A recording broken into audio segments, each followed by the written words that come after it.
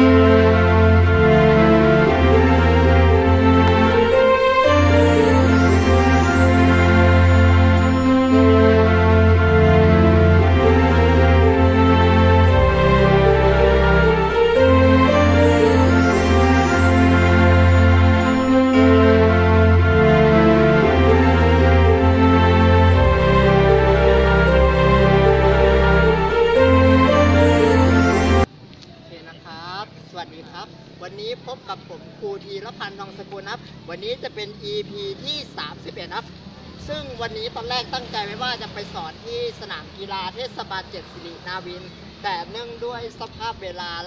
ภูมิอากาศ วันนี้เลยเปลี่ยนสถานที่มาสอนที่เดิมนั่นก็คือ